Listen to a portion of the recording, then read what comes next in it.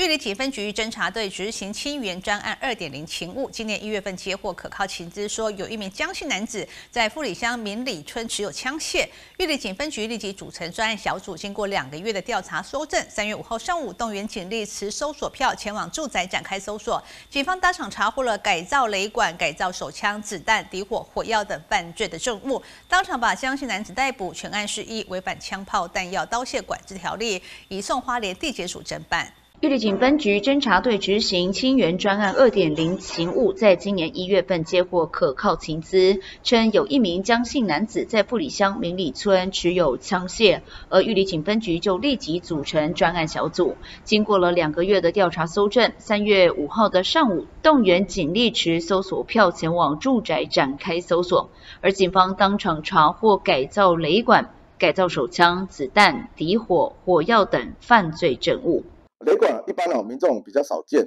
哦。它当它接上电源后，哦即可引爆炸弹，可以作为炸弹的引信哦。它本身也具有呃一定的杀伤力。那本分局在查扣后，呃，先请刑事局呃防爆小组进行初步的勘验，呃，确认这个雷管呢是具有呃爆炸性的。那现在已经将呃证物啊移送到。